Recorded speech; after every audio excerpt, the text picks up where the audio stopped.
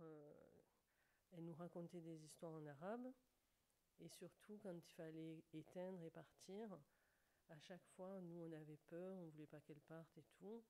Et en fait, à chaque fois, elle se mettait à la fenêtre, elle disait, bon, regardez, euh, donc quand la lumière était allumée, le ciel est tout noir, je comprends, ça fait peur, mais vous allez voir, je vais éteindre la lumière et vous allez voir qu'il va s'éclaircir. Et effectivement, quand on éteint la lumière, le ciel, après, il est moins foncé, enfin, il est, toujours euh, sombre, mais... Euh, et alors, on trouvait que, enfin, du coup, on avait moins peur. Et voilà, il y a, ça.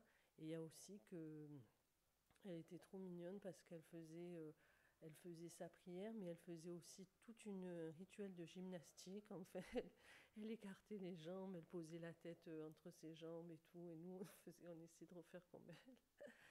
Et voilà, et ça, ça m'est resté parce que moi aussi, je suis, je suis dans le corps, enfin, je. Voilà, souvenir de ma grand-mère.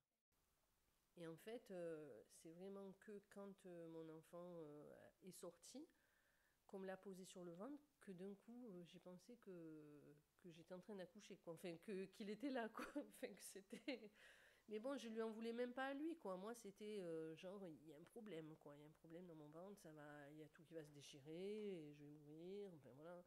Mais je, je voilà. Et là, donc, quand on me l'a mis sur le ventre, en fait, je me souviens que euh, j'ai regardé et, là, j'ai vu ce petit, ce petit être, on va dire, oui, cette chose qui s'est mis, mis à gesticuler. En fait, il avait la tête retournée vers le bas et il a, il a bougé la tête de manière euh, saccadée, comme ça, un peu désordonnée, enfin un peu, un peu, sais pas, le mot ne me vient pas, jusqu'à faire. Un, je voyais qu'il faisait un effort un peu surhumain là, qui venait de naître. Parce que moi, quand on me l'a posé, en fait, j'ai parlé, j'ai dit ah c'est mon bébé, un truc comme ça. Et, Dieu, et lui, il a dû entendre ma voix.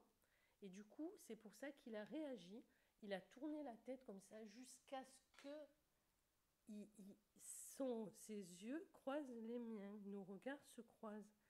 Et là, je ne sais pas pourquoi, mais quand nos regards se sont croisés, j'ai explosé, hein. j'ai eu une émotion, mais euh, j'ai été transportée, mais totalement.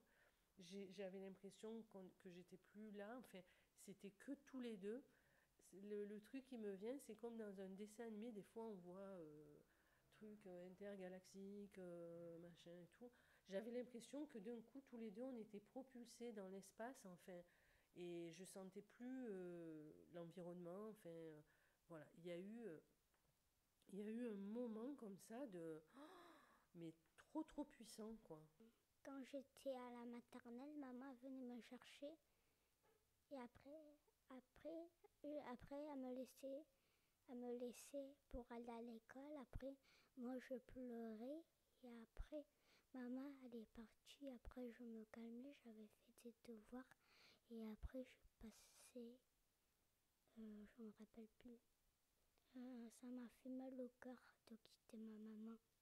Mais oui, qu'elle me manquait, elle m'occupait toujours. Quand, quand j'étais petit, elle me mettait là une serviette pour pas que je me salisse. Elle me donne toujours à manger quand j'étais bébé, des cuillères de pommes de terre écrasées. Et après, elle me donnait de la compote, elle me donnait de la soupe aux légumes, aussi de la soupe aux choux. Et, quand, et après, elle m'a donné des pâtes, vu que j'avais en quatre dents là et là, du lait. Et voilà.